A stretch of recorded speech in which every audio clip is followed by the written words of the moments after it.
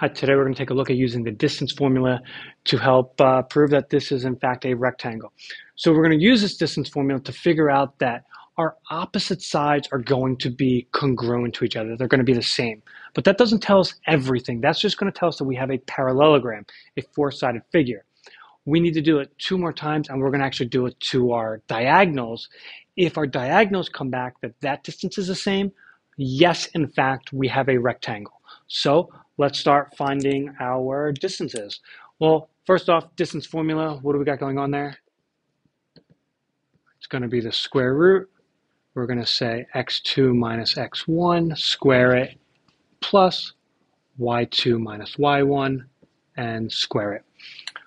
Okay, let's plug some numbers in. Let's find what AB is going to be. So we're going to say our x is. Um,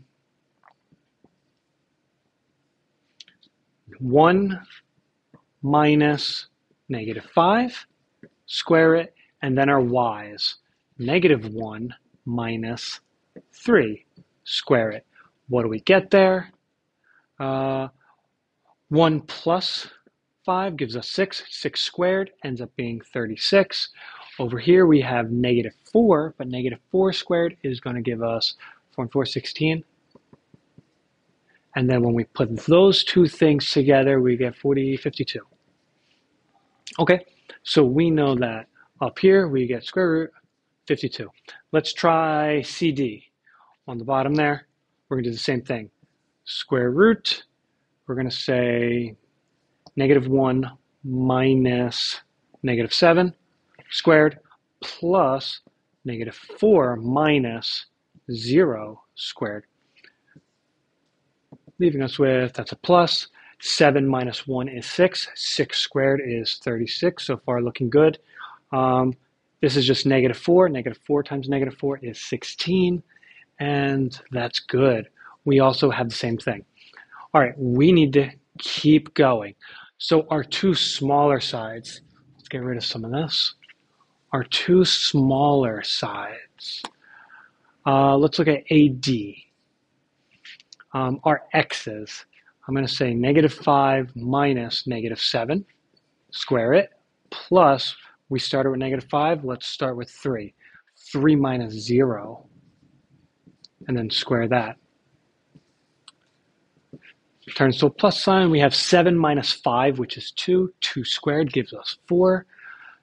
We over here, second parenthesis, is just 3. 3 squared is 9, leaving us with square root of 13. That's good. All right. And last side. Uh, let's go 1 minus 1 minus negative 1, square it, plus negative 1 minus negative 4, square it.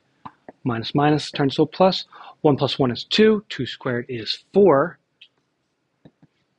Plus 4 minus 1 is 3. 3 squared is 9.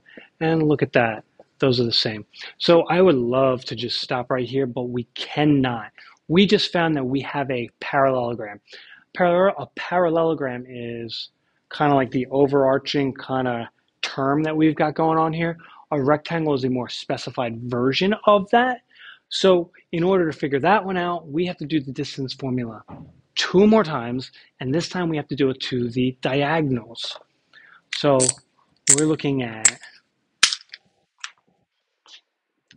AC and DB. We're trying to figure out where those two things meet. So AB or AC, one more time. We have x's, negative 5 minus negative 1. Square it, plus my y's. We started up here. 3 minus negative 4, square it, giving us, let's see, plus plus 1 minus 5 is negative 4, square it, and you get 16, plus 3 plus 4 is 7, 7 squared is 49, leaving us with square root of 65. Okay, can we do it one more time? I think so. So we just did AC. Let's do BD. Uh, x is negative 7 minus 1. Square it. And let's do our y's. 0 minus negative 1. Square it. Turns to a plus. Negative 7, negative 1 is negative 8. Square root negative 8. You're going to get 64. On the other side, 0 plus 1 is 1. 1 squared is 1. And we are left with square root of 65.